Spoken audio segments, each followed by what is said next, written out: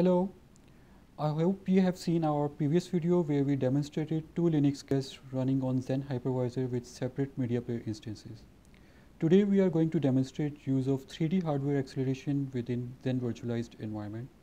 We have an Orange Pi PC2 setup with two Linux guests running on Xen.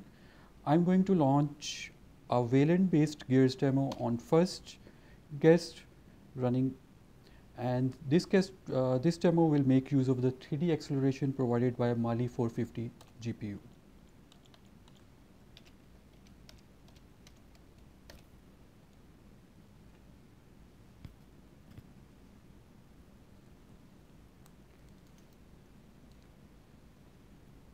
So as you can see, uh, this uh, dem demo can actually provide 55 frame per seconds uh, in this current setup on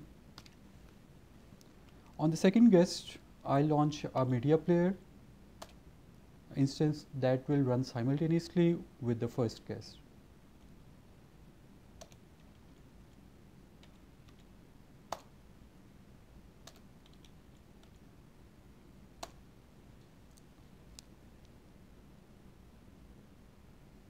So we have achieved this whole setup by setting up Mali GPU driver as a pass-through device to first guest.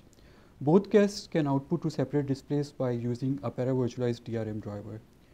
I hope you liked our demo. If you have any questions, please contact us at info at. Thank you very much.